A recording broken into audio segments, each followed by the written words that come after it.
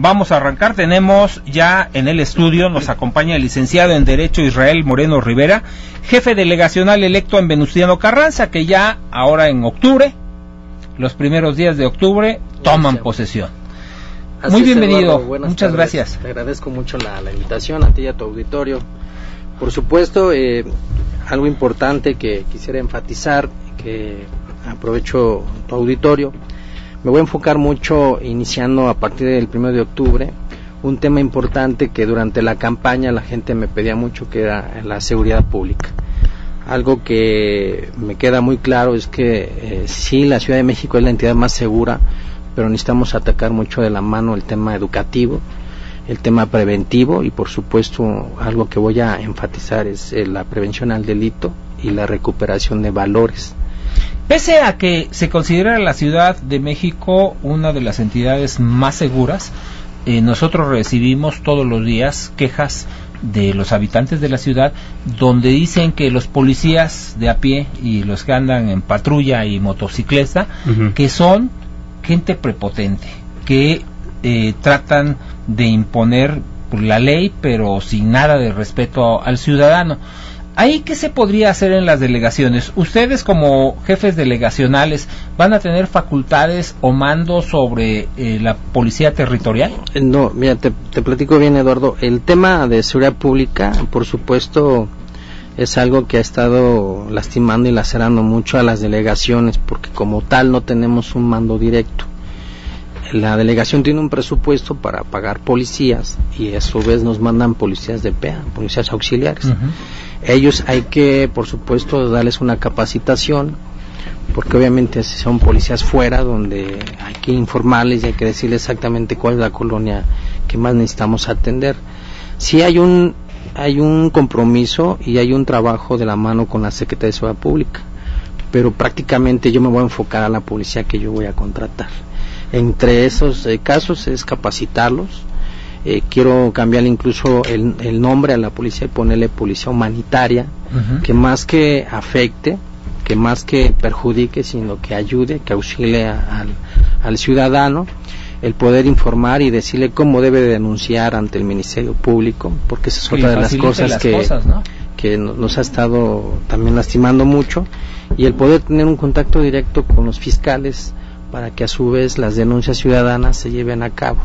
Parte de eso eh, es algo, un compromiso que, que yo eh, sostuve con los ciudadanos y por supuesto eh, en esa misma eh, materia el poder darle mantenimiento a las plazas, a las vialidades principales, donde incluso la gente se siente este, sola por un tema de luminaria, por un tema de, que hace falta una poda, el tema de los puentes peatonales, el compromiso es directo, donde yo iluminaré totalmente las calles y por supuesto los puentes peatonales, la salida de los metros, las estaciones principales que tiene esta demarcación que además es una demarcación muy céntrica. El tema de las lecherías, estar ahí presente a temprana hora, hacer operativo los fines de semana para evitar que, que, las fiestas sigan creciendo donde hemos encontrado jóvenes que eh, a temprana edad pues andan delinquiendo. Entonces vamos a trabajar mucho con un tema preventivo, le apuesto mucho a los valores. Que la, la prevención, de muchos la ligan con el deporte, con la educación, con la salud, que cuando estos satisfactores están cubiertos, la población obviamente tiene una visión completamente diferente. ¿Qué piensas hacer? ¿Cuáles son tus propuestas en la prevención y en materia, por ejemplo, de deporte y salud? Así es. Primero me voy a enfocar, traigo un programa importante con los jóvenes. Eh, desafortunadamente hay un, hay un rezago importante, tanto pareciera que entran a tercero de secundaria y empieza a haber un rezago importante donde los jóvenes dejan de estudiar, llegan a la preparatoria y obviamente hacen su examen una, dos, tres veces, no se quedan.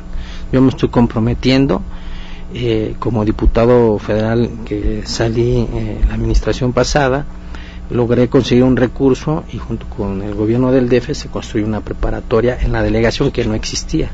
Ahora la prepa ya está lista, en un par de meses se va a entregar junto con el jefe de gobierno y ese fue uno de los compromisos reales con, con las familias de Venciano Carranza. Dos, si el joven hace su examen y no se queda, yo me comprometo a darle beca de prepa universidad, obviamente en universidades privadas que tenemos convenios. Tres, queremos por supuesto el joven eh, universitario que me diga, delegado, yo estoy eh, estudiando mi carrera, a ellos se les dará una beca de apoyo para que puedan ellos seguir sus estudios y que a su vez no sean corrompidos por el crimen organizado. Esto, como lo planteas, nos habla de muchos recursos. ¿Habrá el suficiente dinero para la demarcación y para el gobierno del Distrito Federal para cumplir con todas esas necesidades? Yo creo que no, no se necesita muchos recursos. Realmente lo que podemos hacer como diputados federales, el, el, temor era conseguir un recurso para construir la preparatoria. Ya lo tenemos. Ahora nada más es un tema de trabajar en campo con la gente, con los vecinos, el poder invitar a los jóvenes que sigan estudiando, que no que no lo dejen a un lado, porque hay veces que eh, nos preocupa mucho. Tenemos una escuela, pero los jóvenes no van a estudiar. Entonces sí voy a trabajar mucho en un tema de valores y, y poderme enfocar casa por casa, informarle a la gente que ya está la preparatoria. Y que hay que aprovechar. que hay que aprovecharla por que Ojalá no suceda como la Universidad de la Ciudad de México, ¿no? Que al final se convirtió en un grillero y ahora este, sacar eh, ya eh, personas que se titulen es un un, un rollo de aquellos. ¿Por qué? Porque tienen todo tipo de problemas. Eh, Israel Moreno nos acompaña Juan Carlos Zárraga Sarmiento, exdiputado allá en la Asamblea Legislativa del Sitio Federal. Israel, bueno, me llama mucho la atención esta propuesta de una preparatoria en una delegación y que la delegación aporte recursos para esta preparatoria, porque sin lugar a dudas es una acción que yo no recuerdo que tenga precedentes en la administración pública en las jefaturas delegacionales en el Distrito Federal. Y me llama más la atención a la luz de que Alejandra Barrales, la hoy secretaria de Educación del Gobierno del Distrito Federal, bueno, nos anunció aquí en los micrófonos del punto crítico que van a innovar un programa de bachillerato ¿Vas a empatar este programa innovador que pretende Alejandra Barrales con la preparatoria que tendrán ustedes a su cargo allí en Venustiano Carranza? Así es, mira, te, corrijo para que no podamos confundir a la gente. La preparatoria es eh, del gobierno de Distrito Federal.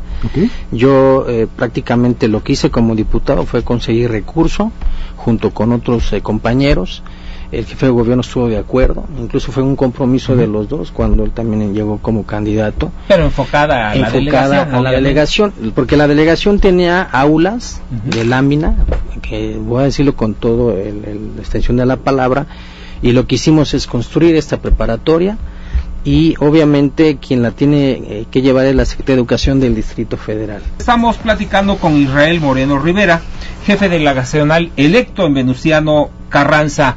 El tema es eh, la seguridad por una parte, la educación que es importante, ya nos comentaba sobre esta preparatoria construida en territorio delegacional que va a permitir de alguna manera que los jóvenes tengan ocupación, tengan una visión y oportunidad en la vida.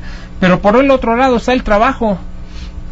Señor delegado, jefe delegacional electo, ¿qué, vas a hacer en materia de trabajo? sé que las delegaciones no tienen facultades en, en ese sentido, pero sí la posibilidad de implementar políticas públicas y recursos como para que los empresarios sean los que generen el trabajo. Así es. es un tema complicado, pero no imposible. Eh, quiero informarte que en, campaña también me comprometí eh, a, tocar ese tema que pareciera que los delegados no lo hacen, pero yo sí me quise comprometer en construir, eh, por supuesto, una escuela de artes y oficios. Va de la mano esta construcción y esta capacitación con empresarios que ya son natos de la delegación y por supuesto con el aeropuerto internacional que que aún no tenemos y que bueno por supuesto quiero aprovechar mucho esa parte ¿Cuál es la posibilidad que, puede generar esta escuela de artes de oficios? Quien aprenda un oficio, llámese carpintería, plomería, incluso ser el poder ser albañil, que pareciera que es, eh, no, pues es, muy, ofensivo. Entonces, todas las empresas, las empresas que podamos nosotros contratar para hacer banquetas, para hacer obra pública en plazas, en el caso de que quiero construir una nueva alberca en el Deportivo Oceanía. Todas esas personas que se capaciten, por supuesto, los primeros que se van a contratar van a ser ellos. O sea, van a privilegiar el, dar las fuentes de empleo y de trabajo. Privilegiar a los ciudadanos de Venustiano para que puedan tener empleo. Esa es una parte importante que quiero, por supuesto, este, subrayar y que este deportivo que también eh, durante muchísimos años no se le ha podido meter recurso porque es un deportivo ya muy muy viejo el deportivo Oceanía por supuesto va a generar aparte eh, del tema de empleo también va a generar mucho deporte mucha cultura vamos a estar dando otorgando becas que es algo que también quiero informarle a los jóvenes a los eh, niños de primaria y secundaria que es la manera con la que vamos a, trabajar de la mano con un tema preventivo. Muchas veces se dice que de dientes para afuera se hacen las cosas. ¿Cómo podrían hacer quienes viven en la demarcación, en la delegación Venustiano Carranza, para acercarse a la autoridad y obtener esos beneficios que tú estás planteando? Así es. Bueno, en primer lugar, estoy eh, comprometiéndome que eh, a partir del primero de octubre estaré visitando colonia por colonia en esta visita se estará informando a los ciudadanos que, cuál va a ser eh, el tema a seguir en materia de desarrollo social, en materia de cultura, en materia de deporte, en materia de seguridad pública y por, por supuesto algo innovador que quiero aprovechar eh, que estoy en, en, esta cabina, por supuesto, voy a crear una coordinación anticorrupción de transparencia y seguimiento dentro de la misma dentro delegación. de la misma delegación y que de esta manera por supuesto eh, eh, va a ser una persona muy ajena a toda la estructura donde estaremos recibiendo quejas de todo tipo y le vas a hacer como el señor presidente Enrique Peña Nieto, tener tu, tu subordinado para que te investigue? Eh, pues más bien, no tanto así, porque no, no, no, no pretendo llegar a ese tema, sino más bien la gente se queja mucho eh, no nomás en, esta delegación, sino en todo el país, en todo el Distrito Federal, de un tema de corrupción. Afortunadamente, la administración pública, todo el mundo llega a quererse llenar las bolsas, ¿no? Y lleva un tema mucho de la mano con la corrupción. Yo lo que quiero es transparentar, lo que quiero es presentar incluso en las visitas de cada, de cada colonia mi estructura, que conozcan quién es el director general de obras, el de servicios urbanos, el director territorial. Sí, para que no se preste luego los que andan ahí este, pidiendo noches. Así es. y, además saber de qué pie cojea, ¿no? Porque si es de la misma demarcación de la delegación, es vecino y los vecinos lo conocen y, saben si andaba a pie, si traía coche, si andaba en bicicleta. O si trae relojes de Sí, ahora, no, de los he visto no me vas a creer. He visto funcionarios delegacionales que traen relojes de 750 mil pesos. ah, yo pensé que, los presidentes nacionales lo, lo primero, lo primero que haces es que lo ves y dices, ándale, trae un, hay un Rolex o trae un Rey Midas, ¿no? Y dices, oye, ¿y ese dónde lo compraste? yo pensaba que me iban a decir, no, pues en Tepito, una cosa así, y le iba a reclamar que cómo es posible que siendo funcionario público se prestara a consumir productos piratas. Eh, los productos piratas y no me dicen, no, es que mira, me fui de viaje y fulanito me hizo el favor de regalarlo. ¡Ay, jodas! ¿A honras de qué? Si estás re feo, le digo. no, y yo creo que este tema de la transparencia es la única manera de combatir la corrupción. Si el presupuesto de la delegacional es transparentado a los ciudadanos, el ciudadano sabrá en tiempo y forma en qué se está gastando el recurso. Mira, Juan Carlos, indiscutiblemente que los valores morales que son aprendidos en el seno del hogar se transforman en valores éticos. Y cuando hay ética una sociedad puede empezar a corregirse y a irle bien. ¿Te parece bien? Tenemos por supuesto que telefónicas. Ah, muy bien, Mira, por aquí dice Pilar Puig de Venustiano Carranza, quiere felicitar a la delegación porque ya no dejan estacionarse en las boleterías de allá del Congreso de la Unión. Así que es un problema, hay Canal del Norte y Congreso. Sí, ese, ese me ayudó mucho el secretario de Ciudad Pública. Y por otro lado deberían de ver más lo de la seguridad, ya que alumbra por un lado y por otros no, es donde crecen los árboles, donde hay rateros, se hacen de las suyas, ahí en Congreso de la Unión. Adolfo González, ojalá puedan ver lo de la gente capacitada para la seguridad, ya que casi no hay. Y Martín Gómez nos dice que si deben de cambiar también el transporte público y hacer algunas nuevas rutas allá en la delegación Venustiano Carranza. ¿Te compete eso? El tema de transporte no nos compete, pero podremos opinar, por supuesto. Y habrá que preguntarle a Laura Ballesteros qué planes tiene para la Venustiano Carranza. Así es. Una pregunta, de Israel. En materia de innovación tecnológica, tengo varias propuestas. Eh, una de ellas es, por supuesto, en, la recuperación de los espacios públicos, que durante eh, las administraciones pasadas lo hemos hecho y que hoy en día, pues, obviamente, no lo voy a dejar de hacer, darles mantenimiento. Estoy proponiendo que todas las plazas públicas tengan internet o wifi gratuito para los jóvenes, para los estudiantes, exactamente. No puede haber ninguna plaza y menos a esta altura que no haya ese tipo de cuestión, que es más bien una necesidad, más que sea un lujo la comunicación sumamente importante cuando hay comunicación de alguna manera tenemos información útil que nos permite buena toma de decisiones. Israel, en la cuestión del deporte, ¿cómo van a seguir? Ya van de campeones durante mucho tiempo. Sí, ya con eso serían ocho años consecutivos. Ocho años consecutivos, el tema de deporte. Vamos a continuar igual y al contrario, eh, te comentaba hace rato que eh, quiero eh, enfocarme mucho en el Deportivo Oceanía, es un deportivo que es importante, grande y que por supuesto eh, buscaría la manera de conseguir el recurso local que sigan batiendo récords para que tengamos esos espacios eh, disponibles para los eh, deportistas de Venustiano que todos son exactamente de la delegación jóvenes que viven ahí. Y algo que le hemos apostado desde hace muchos años es que en Venustiano Carranza los, los chavos los jóvenes les encanta el deporte, pues entonces nada más hay que dejarle los espacios en óptimas condiciones. ¿no? Todos los deportivos estamos buscando la manera de que tengan su alberca para poder generar el deporte. Es la única, el único deportivo que nos falta alberca. pues ojalá que, se puedan concretar porque hace mucha falta espacios donde los jóvenes puedan ir, a aprender a divertirse, a hacerse más, más ciudadanos, más hombres para que tengamos eh, realmente una ciudad que tenga posibilidades de mejoras de, vida. ¿no? Israel Moreno Rivera, nos quedan muchos asuntos en el tintero.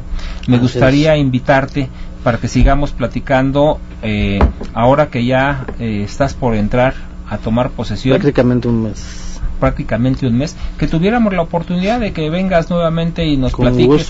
Por ejemplo, lo del aeropuerto, eh, traes una visión que creo que es muy buena con respecto al aeropuerto de nuevas propuestas y sí me gustaría platicar al respecto. Sí, traemos muchos muchos programas, muchos proyectos, propuestas y sobre todo enfocarme mucho y lo vuelvo a enfatizar el tema de prevención al delito y recuperación de valores, que es algo que voy a estar muy pendiente en todas las escuelas primaria y secundaria. Pues te agradezco mucho el que estés con nosotros.